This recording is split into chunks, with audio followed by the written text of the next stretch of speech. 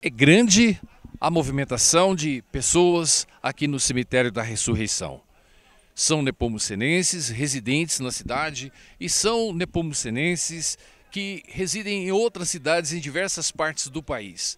Neste dia importante, neste dia de muito respeito, as pessoas comparecem e vêm prestar as suas homenagens àqueles que faleceram, mas que fazem parte do coração de todas as famílias é, neste dia, muito importante, a presença dos nepomucenenses se faz necessária.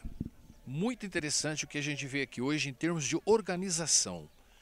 Nós ouvimos de diversas pessoas que elogios à organização que existe aqui no cemitério da Ressurreição em Nepomuceno. Carlos César Araújo é um dos líderes que nós temos na Igreja Católica em Nepomuceno.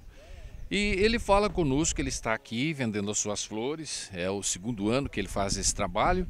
A filha dele, Karina, está aqui do meu lado direito, mas ela falou que não fala, mas ele fala. Carlos, a importância desse dia, você está aqui desde cedo, as pessoas chegando, a movimentação, como você vê?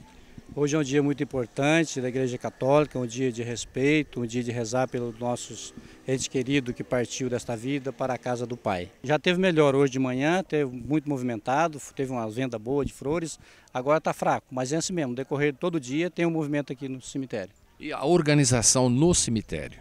Está bem, está muito bem organizado o cemitério.